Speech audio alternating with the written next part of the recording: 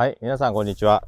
いつも視聴いただきありがとうございます。今日はですね、この後ろに映ってる竹をきれいにしていきたいと思います。まあもうすぐゴールデンウィークなんですけど、まああいにくなんか天気が悪くてですね、今年はまあ雨が多いんですけど、日照時間がちょっと少なそうで、まあその点はちょっと心配ですよね。はい。で、まあ雨が降ると、まあ竹ってね、すごい成長しちゃうんですよね。後ろのエリアなんですけど、2年ぐらい前からですね、まあ竹を切って片付けてということを繰り返してきました。まあ将来的にはですね、田んぼに戻したいんですけど、ちょっとまだまだ、えー、今年はこちらに手が回らなさそうなので、えー、ひとまずですね、まあ今生えてる、えー、細い竹を切って、えこれ以上ですね、竹が光合成できないようにしていきたいと思います。で、まあ見ていただくとわかるんですけど、あんまりね、太い竹はないんですね。というのは、太い竹はもう一回全部切っちゃってるので、えー、その後の再生竹っていう細い竹が今ね、えー、奥の方にいるような感じになります。まあすごい奥の方に生えてきたりとか、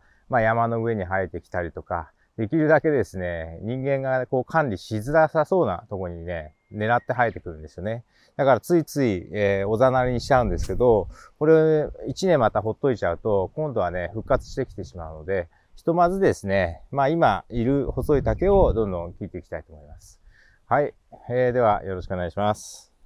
後ろにあるのがですね、竹を切った後に片付けてる処分場になります。かなりの竹をですね、切って、こっちに積み上げてます。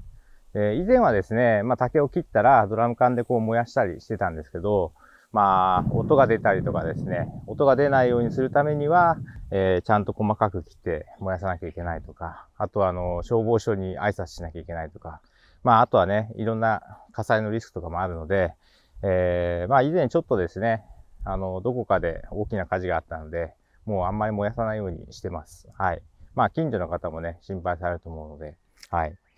ということで、まあ、こんな感じで積んでおいて、そのうち朽ちるでしょうというようなスタイルをとってます。まあ、どの道ですね、この奥まで開墾が進むのは、まあ、しばらく先なんですよね。はい。えー、他の動画見ていただくとわかると思うんですけど、まあ、何せね、人力で掘ってるので、毎年ちょっとずつ広げていくって感じなんですね。はい。えー、特にですね、まあここ、もともともう竹林みたいになってたんですけど、やっぱりね、竹は上だけ切っても、まあ根っこが生きてるんで、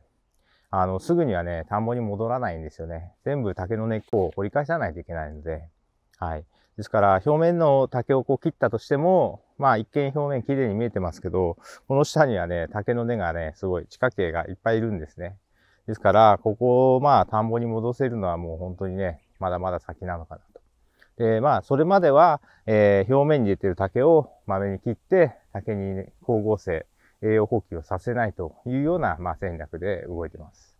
今日なんですけど、えー、今回はこの工具でいきたいと思います。これはあの、牧田さんのレシプロソーというものでして、え、18V のバッテリーで動きます。で、まあ、先に刃がついてて、まあ、この刃は変えられるんですね。で、これをひねると動いて、というようなツールになります。え、私がですね、初めてこの電動工具を買ったのが、この、えー、マキタのレシプロソーなんですね。で、まあこれはですね、まあ竹も切れますし、枝も切れると、あとまあつるも切れますということで、非常に便利なんですね。まあこれのいいところは、まあ軽いですし、両手でも持てますし、はい。で、まあ刃を変えればいつまでも使えるということで、初めの一本にはすごいいいんじゃないかなとで、今日はですね、まああんまり太い竹はないと思うので、まあこれで全然十分かなと思います。はい。えー、以前はですね、まああの、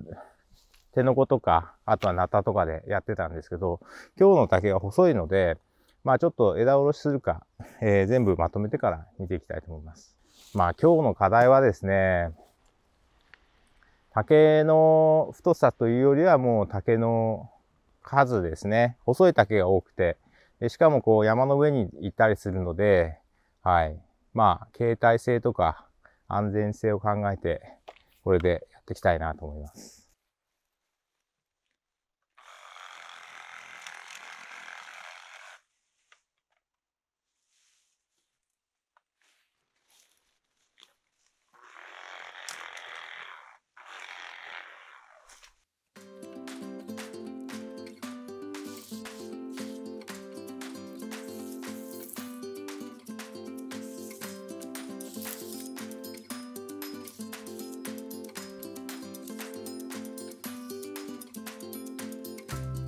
先ほどここは竹林だったとお伝えしたんですけど、まあ竹を切って、その後どんな植物が生えてきてるか紹介したいと思います。この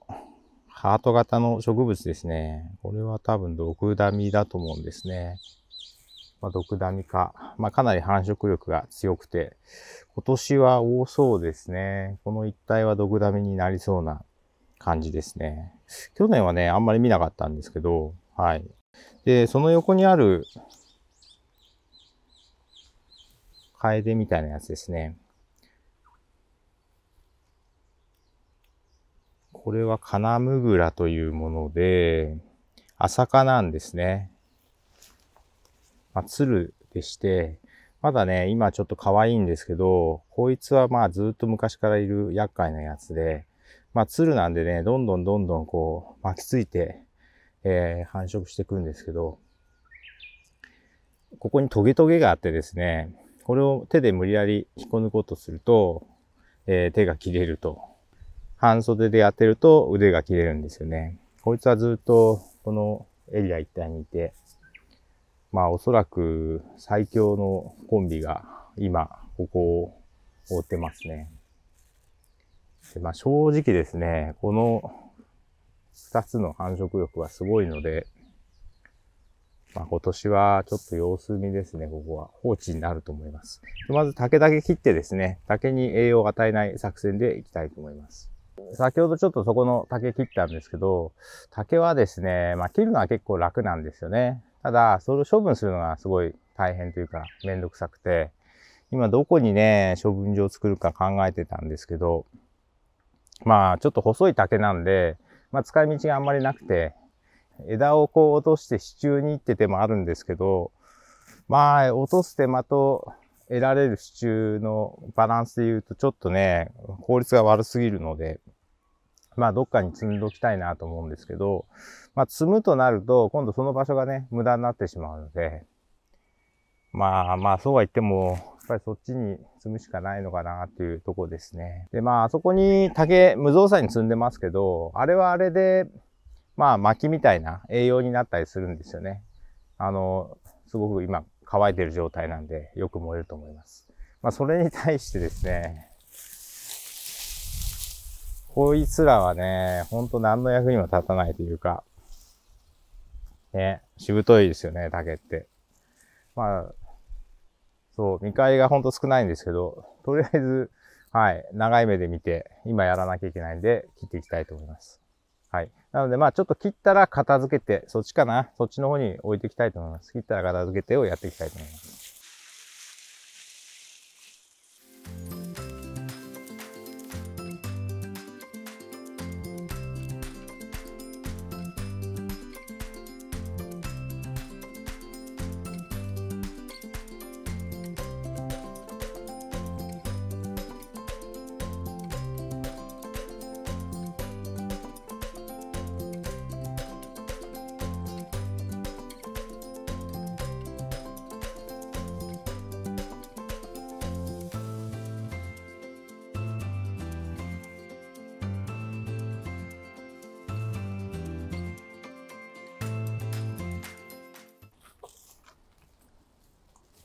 ちなみに奥はこんな感じですね。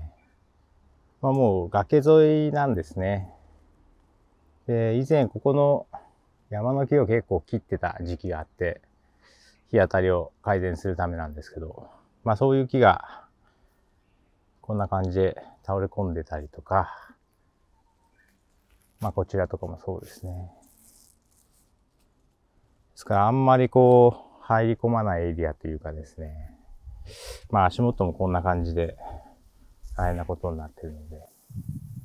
まあ、こういうところに竹が逃げ込むって感じですね。去年はちょっと放置しちゃってたので、まあまあ結構背が高くなっちゃってます。なのでひとまず今年は切るところまではやりたいなと思いますね。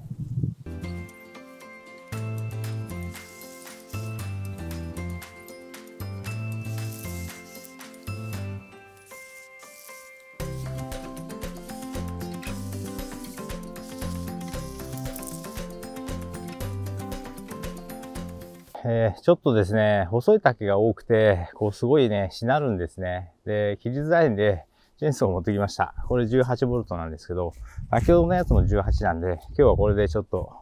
えー、細い竹を切っていきたいと思います。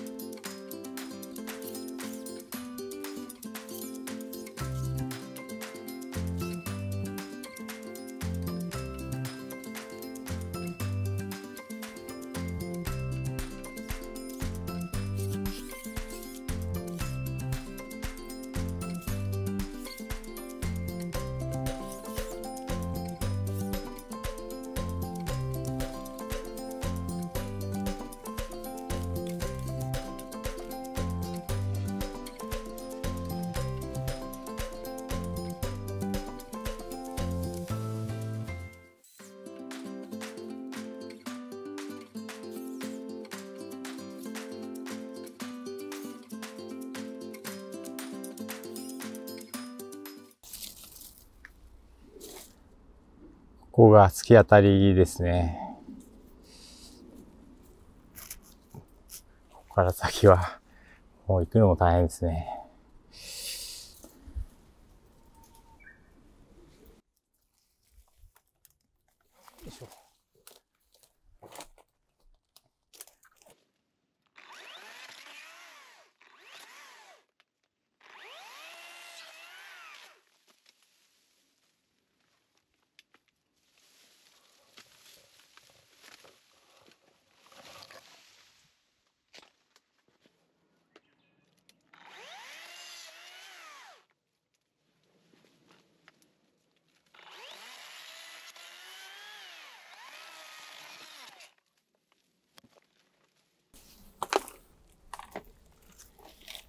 なくなったかな。まあ、チェーンソーは切るのは楽なんですけどね。知らないうちに腕がパンパンになっちゃうんで、体力配分ですね。体力というか筋力ですかね。あともうたくさんこう切っちゃえるので、まあ、この後片付けもやらないといけないので、まあ、そういうとこですよね。で、もあとこういう足元が本当に凸凹なので、チェーンソーを切りながら歩くのは本当危ないですね。止まって切って、止まって切ってですね。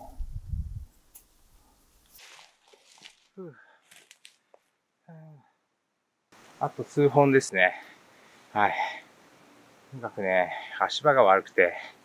刃物を持ちながらやってるんで、もう集中力の勝負ですね。はい。はい、残りちょっと頑張っていきます。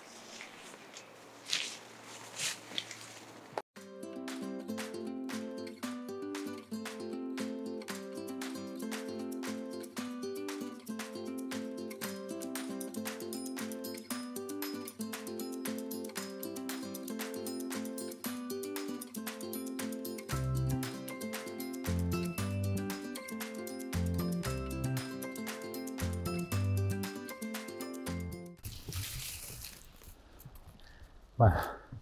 映像で伝わるかどうか、最後のエリアですね。ここが一番奥になります。下には竹の残骸があって、かつてもここを処分場にしてたんですね。もう何年前かはちょっとわかんないですけど、投げ込んでたのかなまあ、ここの、足場が合ってないようなもんなんで大変ですけど、あと、2、3、4、6。このエリアをやれば終了ですかね。ちょっと油断しないでやっていきたいと思います。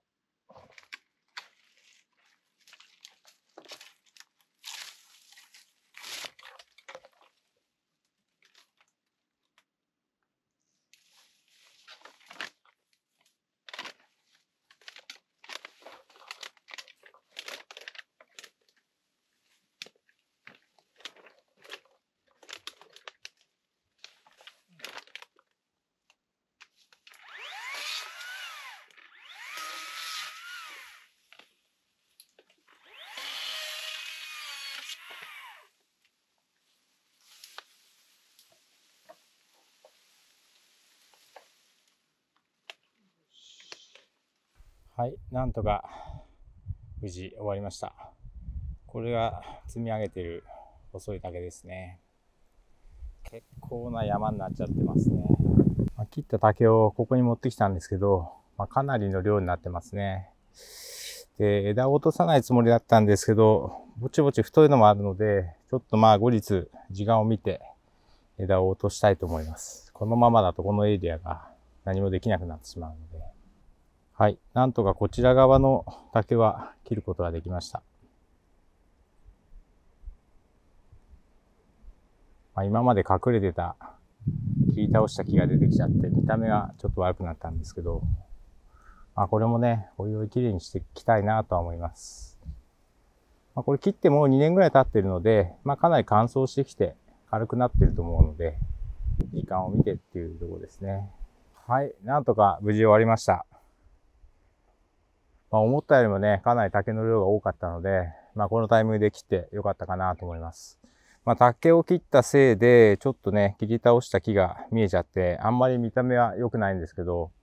まあ、これもね、おいおい、綺麗にしていきたいなと思います。まあ、とにかくね、足場が悪いところなので、まあ、そういったところに竹は逃げ込むんですよね。ですから、ついついこう、おざなりになってですね、あの、いつの間にか繁殖してって感じで、はい。まあちょっと油断をせずに、えー、竹をこまめに切っていきたいなと思います。はい、おはようございます。えー、昨日の続きで、えー、山になったこの竹片付けていきたいと思います。えー、今日はですね、この竹の枝を落としていきたいと思います。これですね、このナタでこう落としていくような感じですね。やっぱりあの、竹は切ってすぐに枝を落としていかないと、どんどん硬くなってですね、大変になるんで、大変ですけど、やっていきます。はい。では、よろしくお願いします。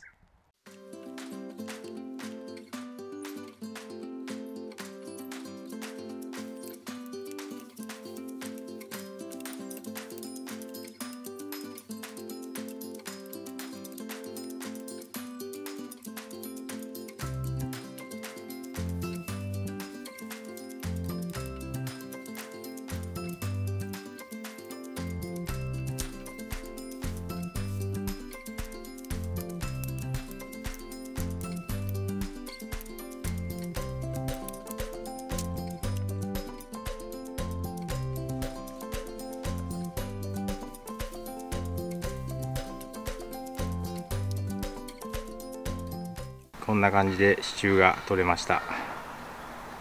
まあ、これからの季節支柱は結構野菜作りに必要なんでちょっと今日は頑張って枝落としをやってみました。